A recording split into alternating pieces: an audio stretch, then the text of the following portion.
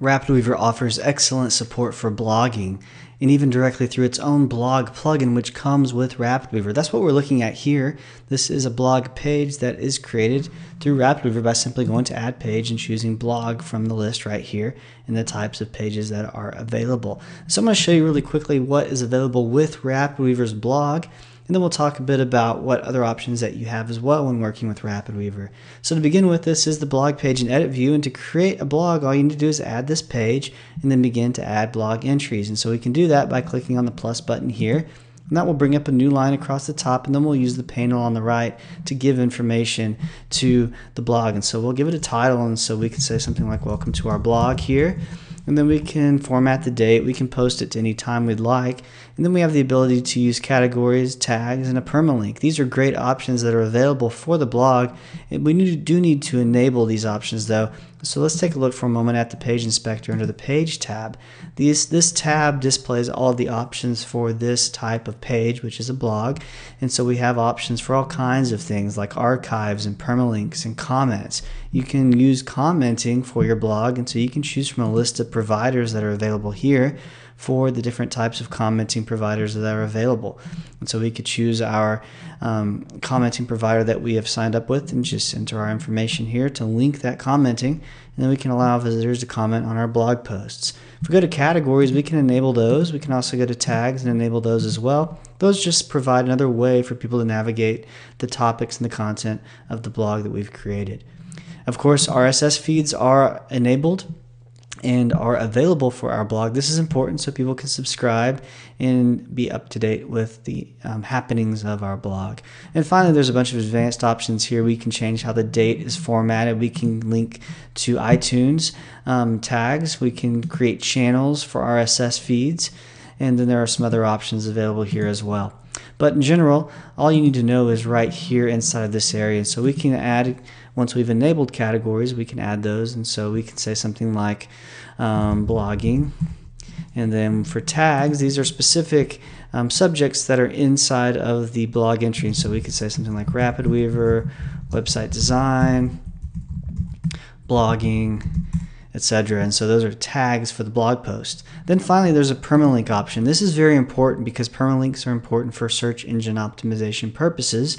And so RapidWeaver does a great job of supporting that optimization with the permalink. And so what we could say something here uh, is something like uh, RapidWeaver blogging, website design.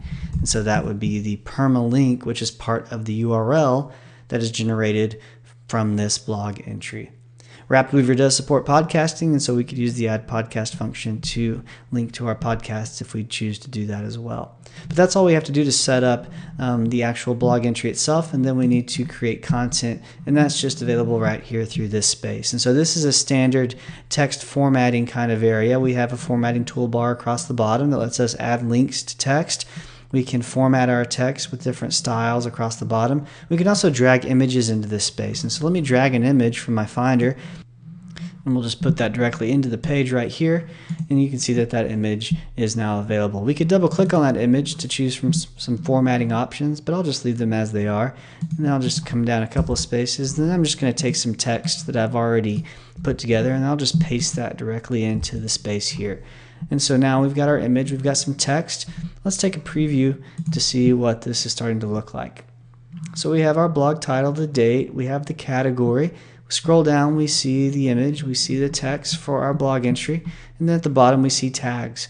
And so this is different ways of visiting different posts that are related to those subjects. We can also see that same information in the right. We have categories listed, archives by date, month and year, and then we've got our tag cloud, which is all the tags that we've used um, inside of our blog so far. There's also a link for the RSS feed for people that want to subscribe.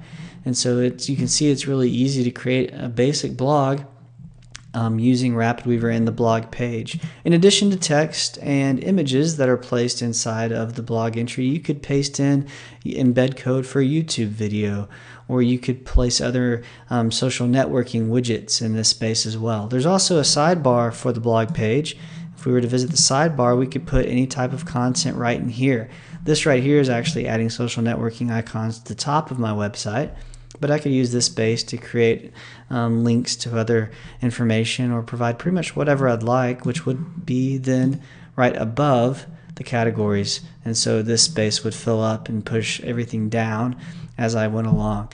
And so that is how you would go about building a blog in RapidWeaver. Pretty much everything you need is right here in this blog page. The only catch to using the RapidWeaver blog is that you have to go through RapidWeaver to blog and then publish to your website. So if you don't like that idea, if you want to be able to have more freedom in blogging without having to open up RapidWeaver or have a computer with RapidWeaver installed, then you can use a couple of other plugins that will either allow you to use Google's Blogger service or even WordPress in order to use those systems to add blogs to a RapidWeaver website. So those plugins are available as well. I'm not going to go into those right now, but I do want you to know that they're available.